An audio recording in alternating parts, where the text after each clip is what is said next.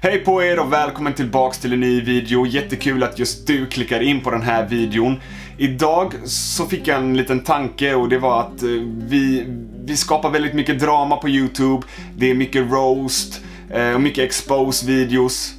Och missförstå mig inte, en bra roast är en bra roast. Jag tycker det kan vara väldigt nice ifall man gör en humoristisk roast där både personen som blir roastad och fansen skrattar åt det. Men när det kommer till drama, när man visar liksom print screens på det man har pratat med varandra om, när man försöker sänka den andras kanal, eh, bara för att liksom få mer visningar, liksom det ska bli ett spännande drama. Det är inte så jävla nice. Sen finns det absolut draman som eh, inte handlar om att få massa följare och publicitet utan de här personerna de, de bråkar verkligen mot varandra. Lite grann som Hydras mamma och Svensk Drama som just nu har en beef med varandra. Om det nu är sant att eh, Svensk Drama har photoshoppat en bild Eh, där han hävdar att eh, Hydras mamma skriver en hel del konstiga saker eh, så förstår jag varför Hydras mamma liksom gör en, en fet jävla expose-video på honom. Men det finns ju människor som inte har någonting emot andra men som bara liksom addar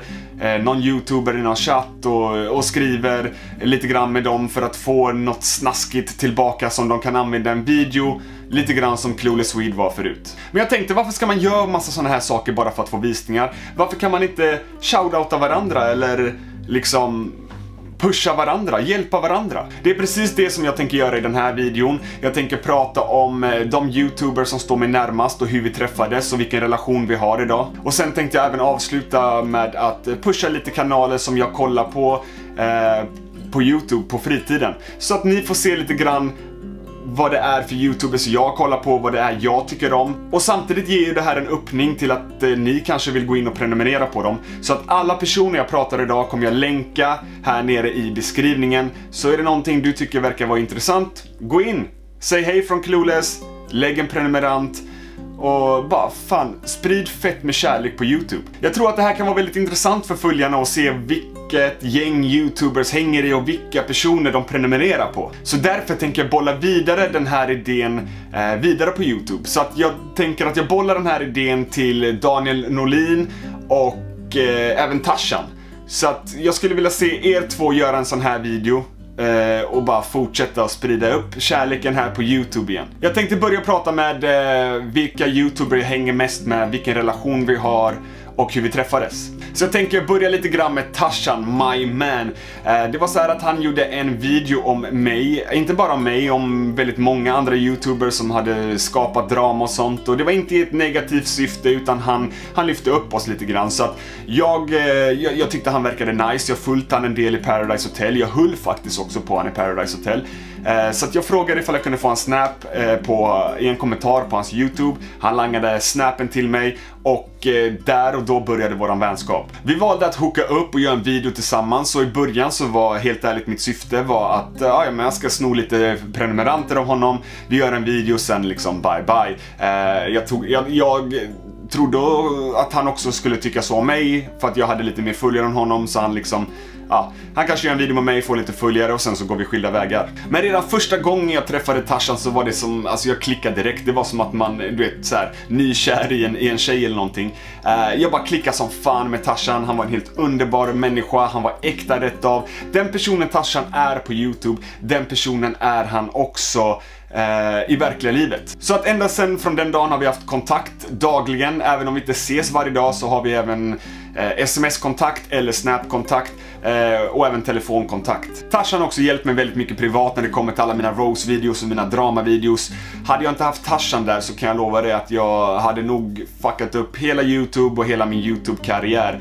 Eh, Tarzan har varit den som har verkligen, ey bror, ta det lugnt, Tänk efter, ska du verkligen göra den här videon? Så det är väldigt många videos som han har räddat mig från att göra.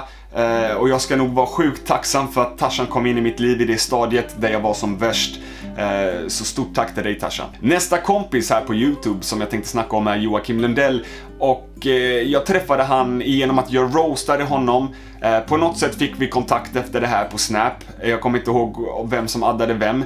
Eh, men vi började prata där, diskutera lite. Han undrar varför jag hade gjort min roast och ja, vi bollar fram och tillbaka där och det fick mig att börja tänka ja, varför har jag roastat honom egentligen?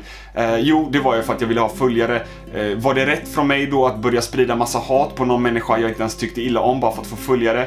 Eh, absolut inte, det var ju fel där. Så där och då började våran dialog och vi började snabbt känna att vi var väldigt lika som eh, personer. Eller jag kanske var mer lik den gamla Jocke eh, som liksom fanns på Youtube för kanske en två år sedan.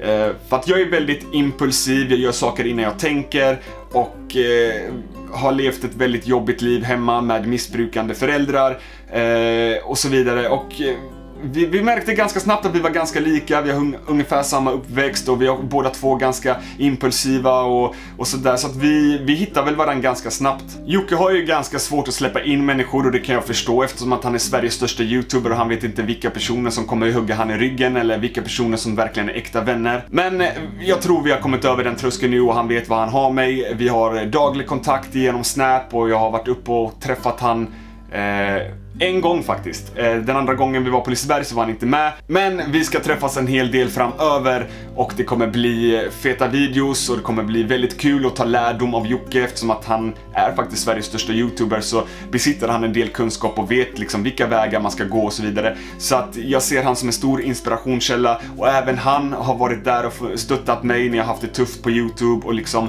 eh, fått mig att förstå att vissa grejer, vissa beslut man tar eh, när man är väldigt impulsiv kan gå käpprätt åt helvete. Så jag har också Jocke att tacka väldigt mycket. Förutom honom och Tarzan hade nog min kanal varit död för länge sedan. Över till nästa homie och det är Manfred. Manfred och jag har aldrig liksom träffats här riktigt privat. Vi har kingat någon gång på varandra på Splaykontoret. Mer än så är det inte. Men Hydra roastade Manfred genom att eh, Manfred hade läckt de här nakenbilderna tyckte jag otroligt mycket synd om, honom. Det var på den här tiden jag var väldigt hatad så jag förstod eh, hatet han fick från Hydras fans då. Jag addade då Manfred för att jag ville liksom var en axel han kunde luta sig på liksom. Jag sa att jag förstår dig, jag finns här om det är någonting. Och sen dess har vi haft en väldigt god kontakt. Vi skriver ganska ofta med varandra på Snapchat och jag diggar han otroligt mycket. Han gör sjukt bra musik också så glöm inte att spana in dem. Men Manfred han är legit, han är en helt underbar människa och man vet att han inte ens skulle kunna döda en fluga. Han är en supersnäll kille med väldigt mycket energi precis som mig och eh, det diggar jag. Nästa homie jag tänkte prata om är Hydras mamma som inte alls är så farlig som folk tror att han är på Youtube. Bakom Youtube är han en väldigt ödmjuk och väldigt trevlig person. Eh, och han har ett starkt driv. Han har mycket liksom, tankar och idéer på hur han ska utveckla sin YouTube-kanal som jag tycker låter kanonbra. Han träffade jag eh, ordentligt nu eh, när jag var med i en livestream där Svensk Drama och han hade en livestream tillsammans. Jag blev inbjuden i livestreamen och sen dess har vi haft en, en ganska bra kontakt tycker jag. Vi pratar lite, lite då och då, det är inte varje dag men kanske varannan var tredje dag. Och eh, ja, vi hjälper varandra med lite tips och liksom eh, snackar lite om life. Eh, och ja, jag tycker bakom YouTube är han verkligen en fett skön människa och jag tror att det kommer snart visas på YouTube också eh, vem han egentligen är. Eh, för att jag tror att väldigt många har en skev bild av honom, men han är faktiskt jävligt nice eh, privat. Nästa brush brush har vi Anis Don Demina som jag eh, lärde känna efter Jockes första roast, eller den roast-videon han gjorde på Jocke första gången. Han hade ungefär 800-900 subs då. Eh, kontaktade han på Snap eh, på grund av att jag såg den här videon och sen gick jag in på hans kanal och såg att han hade så sjukt snygga vlogs Eh, och han bor ju i Dubai. Eh, så jag kontaktade han och liksom jag ville bara liksom ge han lite löv, liksom fan vad sjukt bra eh, videos du gör, du har sjukt grymma vlogs, du kan bli liksom den svenska Casey Neistat eftersom att han kunde prata på svenska, filma i Dubai som en väldigt snygg miljö. Och där och då klaffade vi, eh, liksom, han är också från orten, vi, vi har ett speciellt tugg till varandra, man förstår varandra lite mer när man kommer lite utanför från stan liksom, eh, det är ett annat tugg, man snackar så att, ja, han är min brors brors nu. Nästa person som är min brush brush är såklart Daniel Norlin. Finns det en snällare människa på den här planeten? Eh, call me. Den här människan har hjärtat på rätt plats och eh, det här är en kille som jag aldrig har träffat face to face men vi har haft en väldigt, väldigt bra kontakt via eh, telefon, sms och, och sådär. Och första gången jag träffade han, eh, eller snacka med han, det var, jag tror att han skulle sälja någon kamera eller någonting. Jag kontaktade han på Facebook. Eh, vi började snacka lite grann där. Sen så kom vi in på företag och business och allt sånt där. Så att han hjälpte mig att starta upp eh, mitt företag eh, som jag nu lagt på is då, men ändå att han tog sig tid, för han var mycket, mycket större youtuber än mig då, det är han ju nu också. Eh, men han tog sig tid och liksom hjälpte mig starta upp företaget, det tog faktiskt ett par timmar att göra allt det här. Eh, och sen efter det så har vi bara haft ett gött snack, liksom jag frågar han om idéer, vad tycker du om det här? Och, eh, och han, han, han liksom kan fråga mig vad, vad jag tyckte om hans vlogs och sånt. Så att vi har haft en väldigt god relation, jag tycker om han sjukt mycket, jag hoppas att jag kommer få träffa han snart. Hoppas att vi ses kanske i Stockholm eller Göteborg när någon av oss är där. Eh, för att det där är en, en, en kille som jag verkligen vill ha eh, nära mig livet ut för att det är en helt underbar människa. Sen har vi såklart Krille och Jacke och eh, Krille är väl den jag har kommit närmast där. Jacke och jag har inte fått samma kontakt men jag diggar han som fan. Ser jag han en gång, det blir en fet kram liksom. Men Krille är den personen som, eh, som jag har liksom klickat med direkt och vi har snackat varje dag sedan dess. Och Krille han är verkligen 100% äkta. Den personen han är på sociala medier, den personen är han privat. Han är 100% real. Han är så fett skön för jag gillar en sån kille som bara kan liksom slänga ut sig vad som helst och det låter så jävla bra liksom. Han kan, han kan sitta framför en kamera och bara freestyla 20 minuter utan att säga öh liksom. Han är verkligen så jävla nice. Krille är ju också en sån människa som är liksom bara, kör, kör. Kör din grej bara, säg din åsikt, skit i vad andra tycker. Och det är väl det jag diggar mest med Krille egentligen, att bara ta livet som en klackspark. Eh, så att jag och Krille, vi, vi pratar dagligen via Snapchat, ibland ringer vi varandra. Eh, jag diggar Krille som fan. Och självklart gillar dig också Jackie. Flax är också en person som jag snackar lite då och då med. Eh, superskön kille, vi kan prata privatliv, vi kan prata YouTube. Flax är en person som inte dömer andra människor så att han har aldrig liksom dömt mig eller snackat riktigt skit om mig även fast jag varit hatad. Utan han har snackat med mig, fått den bilden av mig som han tycker stämmer in på och sen inte dömt mig och det gillar jag som fan med Flax. Eh, och sen hans nyhetsvideos, de är 100% real liksom. Eh, gör han en video och någon annan YouTube youtuber tycker att den inte stämmer, då kan man snacka med han och resonera och han kan ändra och göra om liksom, för han är inte mer än människa. Till skillnad från andra YouTube-kanaler som bara gör videos för visningar och liksom Fuck you, det här är min video, den kommer ligga kvar liksom. Så Flax är liksom en människa man kan prata med och han förstår liksom ifall man mår dåligt och så vidare. Flax och jag, vi träffades i den här chatten då när vi skulle exposa eh, Spotlight Central. Eh, Flax var ju inte delaktig i att göra någon video mot Spotlight Central, men vi var flera personer i den här chatten och det var där jag träffade Flax och fattade tycke för honom, för han är fett jävla skön människa alltså. Över till min absolut bästa vän på YouTube, min brors brors, min amigo, Olle Games. Uh, det är den killen jag träffade på Fifa-tiden och han, han, är ett par år yngre än mig men man kan fan tro att han är äldre än mig. Han är så jävla skön, jag ser honom som min lillebror, han har, eh, han har varit hemma hos mig, han har sovit över, vi har fett kul tillsammans, vi pratar ganska ofta i telefon. Eh, på grund av att han har gått i skola, jag har jobbat, så har vi liksom haft lite Eh, lite svårt att kommunicera med varandra. Eh, men sen eh, nu när sommaren kommit så har det blivit mycket, mycket mer snack och sånt. Men det är verkligen min brors brors. Och hans länkar är också i beskrivningen. Tycker alla ska gå in och prenumerera på honom. Eh, för att han är bäst, han sprider bara kärlek och han är sån som människa liksom. Han är så jävla ödmjuk människa. Okej, okay, det där är de personerna som jag hänger med allra mest. Eh, självklart har jag kontakt med många, många mer YouTuber. Eh, men de jag berättar nu, det är de jag liksom skriver och pratar med dagligen. Nu tänkte jag gå över och prata om lite kanaler som jag tycker är väldigt bra och som jag följer och prenumererar på eh, för att sprida lite löv, okej? Okay? Först ut har vi Jonte Borg. Sjukt skön kanal och han är nog den enda i sin genre som verkligen gör liksom stunts och jag tycker det är så nice med en svensktalande kanal som gör stunts eh, och jag förstår inte hur han vågar göra alla de här sjuka grejerna han gör. Eh, big tumme upp till dig. Jag har aldrig träffat honom privat, jag har aldrig snackat med honom på någon sociala medier, men jag diggar din kanal sjukt mycket. Olle Öberg, sjukt bra videos, lite grann som den svenska Casey Neistat. Eh, alla hans video eh, känns som att han har ett syfte, har en mening med sig. Liksom, det är mycket vlogsvideo, men det är liksom inte bara tomma ord i de här vlogsen utan han försöker alltid ha en poäng i dem, vilket jag diggar otroligt mycket. Jag har lite kontakt med honom privat, vi snackar en hel del på Twitter och så vidare. Underbar människa. Ben Mitkus och jag har inte alltid dragit jämnt och eh, vi kommer antagligen aldrig göra det, men Bortse från det så har han faktiskt en väldigt bra YouTube-kanal som jag kollar på. Eh, kanske en av de absolut bästa YouTube-kanalerna i Sverige. Eh, jag tycker att hans YouTube-videos är kvalitet, det är top notch. Eh, så absolut så prenumererar jag också på Ben Mitkus. Sen har vi Don V. Skön kille som också är väl en av de enda i sin genre i Sverige som gör sociala experiment. Kanske finns någon annan men han är den enda jag har sett. Jag tycker han gör ett sjukt bra arbete. Även jag, har, jag och han har en väldigt bra relation. Vi snackar en hel del på Snap och så vidare. Vilda Väsby My Man som jag älskar också för att han gör sjukt bra rap. Eh, och sen tycker jag det är coolt att han har liksom en egen serie där han testar massa olika saker. Eh, och det tycker jag är nice helt enkelt. Eh, för att jag gillar att prenumerera på olika kanaler som gör olika saker och eh, det kanske ni märker nu när jag berättar vilka det är jag prenumererar på, vilka jag är vänner med. Eh, väldigt många kanske tänker, hur kan du vara vän med Jocke samtidigt som du är vän med, med Hydras mamma, samtidigt som du eh, gillar Ben Mitkus content eh, och så vidare.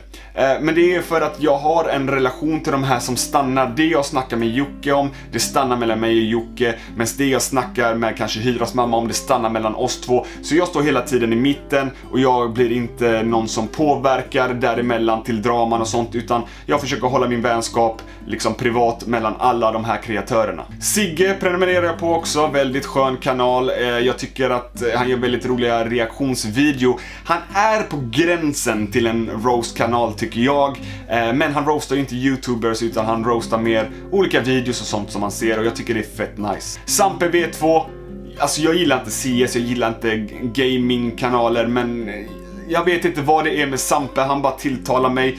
Uh, han är så sjukt bra, han har en härlig personlighet som man bara vill se mer av. Och jag hoppas att han kommer göra mer vlogs framöver och sånt för det är mer attraktivt för mig att kolla på. Men oavsett vad, han är en helt underbar människa. 100k nu också, stort grattis till dig Sampe. Mattes Mush, El Chili, de typ sitter ihop. Nej men jag känner de här, vi har en ganska bra kontakt. Vi är väl inte vid bästa kompisstadiet där, vi pratar inte varje dag, men vi pratar lite då och då och jag diggar dem som fan. Två helt underbara personer med mycket driv eh, och mycket energi. Eh, och vad kan man säga mer? El Chili, han har väl en av Sveriges bästa redigeringar.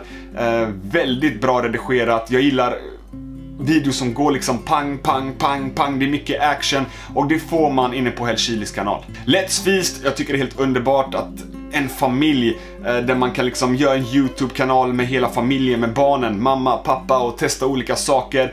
Och de gör det jävligt bra. Jag tycker det är sjukt bra content och jag hoppas att jag någon dag ska kunna uppnå till den nivån. Hydra är också en person som jag inte klickar med jättebra längre privat, men jag tycker han gör väldigt bra content. Som jag sa i början på min video så gillar jag inte när man har eh, dramavideos och visar printscreens och ska försöka sänka en annans kanal. Men när han gör videos, när han reagerar på andra youtubers så är han faktiskt väldigt rolig. Många kanske tycker att det här är konstigt eftersom att jag och han har roastat varandra sjukt mycket. Men det som jag sagt i mina andra videos, den personen jag var förut eh, den personen roastade för att få följare, det var inte så att jag hatade Hydra eh, som människa, utan jag ville göra show på YouTube, jag ville göra action på YouTube. Han har 200 000 följare på ett år, kom igen, det är klart att hans content är bra. JLC, wow, sprider bra kärlek. Eh, Carl följde jag kanske ett år innan han började med YouTube, då när han var eh, vad fan heter det, Johan Falk imitatör och äh, jag älskar det JLC gör nu, de sprider så mycket kärlek och de tre passar så sjukt bra tillsammans. Fortsätt grabbar. Hampus Hedström, när man vill ha lite humor så är det bara att slänga på Hampus. Sjukt bra kanal. Han har jag inte heller jättebra kontakt med. Första gången jag snackade med han var i min stream förra gången via Manfred. Um, han verkar som en superhärlig människa privat också, men hans content är sjukt bra. Och vi får inte glömma Vlad Vlad har en av de bästa vlogsen i Sverige. Jag, jag, tycker han är så sjukt bra, underhållande, mycket, mycket energi. Uh, och det är det som jag gillar att se på YouTube, mycket energi. Jag kanske inte är där än, jag kanske inte har just den energin. Men jag hoppas kunna uppnå det någon dag när jag hittar något content som jag verkligen, verkligen brinner för. Det var väl några av dem som jag prenumererar på. Det finns en hel del mer, men då kommer videon bli en timma lång. Eh, men som ni kan se, jag kollar på väldigt mycket mixat content och det är det jag tycker är kul med YouTube. Det är att det finns så mycket olika att välja på. Man behöver inte bara prenumerera på en person. Speciellt inte ifall den här personen har ett drama med en annan person. Liksom, ah, jag ansabbar på han för jag hejar på han. Det behöver inte vara så. Man kan ha flera olika favoriter som ni ser här. Många av de personerna jag pratar om i den här videon har jag själv roastat och det är människor som ni tror att jag hatar men jag gillar deras content. Jag var en annan människa förut.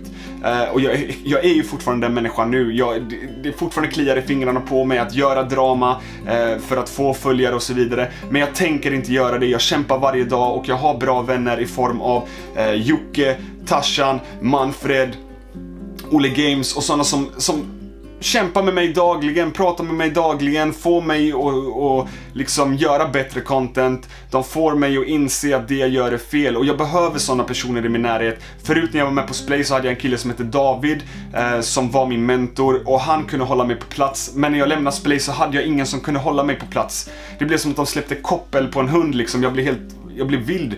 Och dessa personerna behöver jag just nu i mitt liv för att jag ska kunna hålla mig på mattan. Men det var allt för den här videon, tumma upp den ifall ni gillar den och eh, jag hoppas verkligen att eh, Daniel och Tarzan gör en till sån här video. Den behöver ju inte vara lika lång som min var, men eh, att vi kan sprida vidare kärleken och jag tror att väldigt många prenumeranter verkligen undrar vad vilka personer vi hänger med och vad vi kollar på när vi inte själva gör YouTube-videos. Men vi ses i nästa video och i nästa video kommer det antagligen bli en storytime för jag har sett att ni gillar mina storytimes och jag uppskattar det sjukt mycket och jag tycker det är väldigt roligt att sitta här och dela med mig av saker jag har varit med om eh, för att det är också terapi för mig. Men jag är så tacksam för att mina storytimes får minst lika mycket visningar som mina roast-videos gör, vilket betyder att jag inte kommer behöva skapa massa drama för att få visningar, för att ni verkar tycka om mig för den personen som jag är. Vi ses i nästa video.